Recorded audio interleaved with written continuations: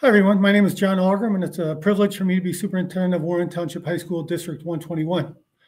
Here today in this video to try to inform our public about our referendum efforts uh, in this past April as well as next June, try to provide some context for our district's financial challenges. For many years, the district has suffered from revenue shortages, and we've tried to make the most of our resources best we can for our students. Uh, due to those challenges, back in April of 2021, the board did place an operating rate increase referendum question uh, on the ballot, but the vote itself did not receive enough votes to pass. Uh, as a result of that failed vote, uh, our Board of Education this past summer uh, quickly got to work because they realized that there was some critical and urgent uh, decisions to be made regarding programming available for our students. And they wanted to make sure that they took advantage of the next available opportunity to put another operating rate question out there for the community to weigh in on as to whether or not the district could benefit from more local revenue. That date has been established as June 28th, 2022. And also, our Board of Education wanted to make sure that our administrative team took every opportunity to educate our public in regards to the details of this referendum question. As part of this video, what we hope to do is provide information regarding the question itself and the benefits for our WTHS students. As you can see from our agenda, there are a number of items that we're going to move through quickly. Want to make sure we uh, wanted you to see that agenda and know that at the end we will have a Q&A slide, but probably we won't actually have time for questions and answers, but rather give you some information on where you can go with your further questions. To start off our discussion, uh, we would like to I would like to turn it over to our Assistant Superintendent for Business Services, Dr. Michael Engel. Warren has the lowest local revenue per student of all high school districts in Lake County at $13,293. Warren receives 200, excuse me, $2,940 from state sources. Warren receives $400 from federal sources. Warren's total revenue per student is $16,633 annually, the worst of all high school districts in Lake County. These 10 high school districts are all the high school districts in Lake County. These are not cherry picked. Waukegan, North Chicago, Lake Zurich, Round Lake, Wauconda, and Barrington are all unit districts. They're funded differently than high school districts. The average total revenue for a Lake County high school district is $25,337 per student. Warren would need an additional $8,704 in revenue per pupil just to be average. Warren tries to offset these particularly low uh, local resources with registration fees. These are the student fees for the 21-22 school year. Warren Township has the highest registration fees of all the high school districts in Lake County at $545 per student. Warren has the third highest parking fees in Lake County at $340. Warren has the highest athletic fees of all Lake County high schools at $240 per sport. Warren is tied with the highest club fees of all of Lake County. Warren has implemented cost control measures that include the elimination of the late afternoon, evening, and consolidated regular bus routes, reduced health insurance costs, refinanced debt, relocated special education transition program to the O'Plaine campus, renegotiated vendor contracts, completed building improvements to help lower operating costs, implemented salary freezes for administrators, and have uh, done staff reductions, which cut 66 positions between 2015 and 2021. To reiterate, Warren has cut 66 positions between 2015 through, two, uh, through 2021. This has included 48 teachers, nine science teachers, eight English teachers, eight social studies teachers, six math teachers, four physical education teachers, three world language teachers, three social workers, two business teachers, one industrial tech teacher, one library media specialist teacher, and one guidance counselor. In addition to the 48 teachers, nine school support staff have also been cut. Five transportation staff, three administrators, and one school resource officer. All these cuts have had a negative impact Warren has had increased class sizes. Warren has reduced course options, and Warren has reduced academic assistance for students. Warren has the highest staffing levels of any Lake County high school district. As you can see, we are at the bottom of all these metrics. This is not exactly the same as class size, however, it is related. Therefore, schools with a lower student to teacher ratio would be able to provide smaller and lower class sizes. We have the highest student to teacher ratio in all of Lake County high school districts at 19.9 students to, te- to one teacher.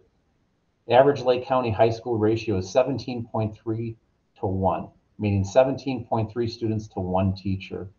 We have the highest administrator to student ratio in all of Lake County at 193.8 students to one administrator. The average in Lake County is 108.3 to 1. Due to our staffing reductions, we've needed to change our process for our scheduling. English classes are now at 30 students per class. Science is anywhere from 28 to 30 students, even though our labs can only accommodate 24. Physical education is between 45 to 50 students. Now I'll turn it over to Dr. Algrim, our superintendent of schools, to go over the timing of the projected reduction. Thanks, Dr. Engel. We also did want to make sure that we are very clear with the community on uh, the reductions in our programming moving forward without additional funding uh, over the next two years, as the reductions now also start to dramatically reduce opportunities for our students. For next school year, the 22-23 school year, we are anticipating approximately reducing by 13 more positions in addition to the 66 that Dr. Engel referenced. These will continue to increase class sizes, more reduce student course options, and reduce academic assistance available for our students. Also, one of those 13 positions is to be a band director position, which will greatly reduce our band programming available to our students, including the elimination uh, of our competitive marching band. In our athletic programs for 22, 23, that's next school year, we'll be looking at the elimination of our entry level teams. I'll talk a little bit more about that in a second. And finally, the fees will continue to increase without additional funding, looking at registration fee of 600, parking of 340, athletics of 260, and a club fee of 50. This next chart just shows uh, specifically what the elimination of entry-level athletics teams uh, were due to uh, our athletic program. And as you can see, sports with four levels of participation will be reduced to three. Sports with three levels of participation would be reduced to two, and sports with two levels of participation will be reduced to one, with the entry-level team being eliminated in each case. These reductions will most likely reduce student participation opportunities in all sports and across all grade levels, as most, if not all, programs will need to make cuts based on ability. And so students uh, that may have been trying out for certain levels uh, may now be bumping other kids who are older. An example that would be, for example, our boys uh, basketball program, which currently has three levels, a varsity, sophomore, and freshman level.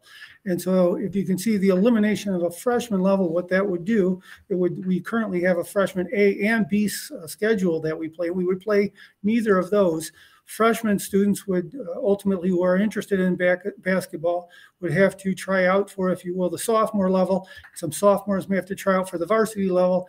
In essence, what that does is it cuts participation for students who have been participating but may be cut based on ability level. So we wanted to make sure that people were clear of what that means the elimination of entry level athletic teams currently slated for the 22 23 school year.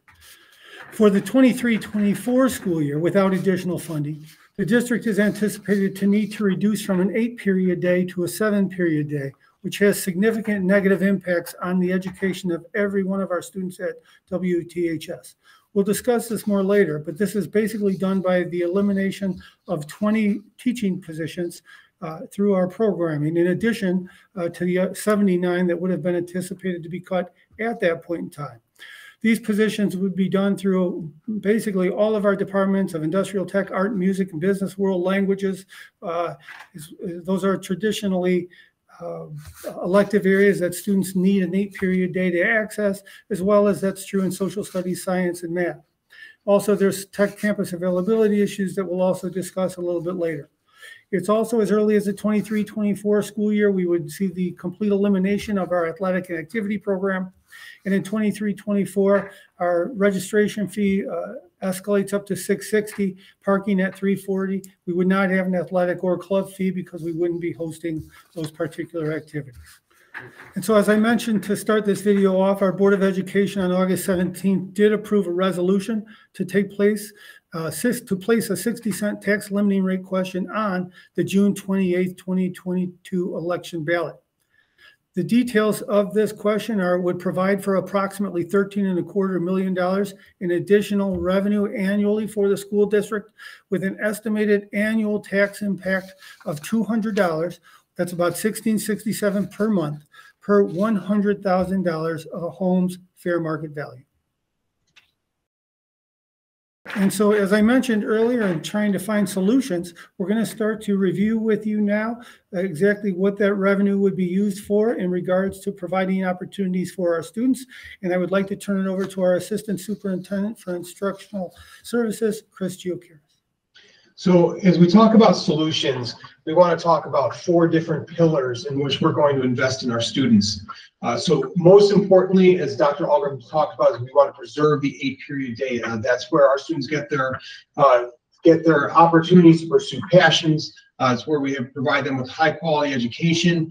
Uh, we want to make sure we're improving our academic supports and mental health services, to make sure we're meeting the academic and social emotional needs of all of our students. And then we want to make sure we're restoring and protecting our athletic programs and restoring and protecting our activities in clubs because we know that extracurricular activities are extremely important to our students and our community. So why is the seven period day so important and why do we want to make sure that we preserve that? Well, right now, we our students are able to take seven classes per day. Uh, so that's up to 28 classes over a four-year period. If we were go down to a seven-period day, they will lose one class per year. Now, on the surface, that might not sound like as much. What that has the impact of doing is they students lose their competitive edge for college and career opportunities as they lose access to those courses. They're not able to access our two and four year programs for certificate professional certifications, things uh, like uh, um, Tech Academy in our business program where they earn technical certifications, Project Lead the Way, which is our pre-engineering program, um, world language, our world language programs, which are four-year programs that lead to advanced placement and seal of biliteracy recognitions and certifications. Uh, band, uh, they would lose access to potentially uh, taking band throughout their high school career or choir.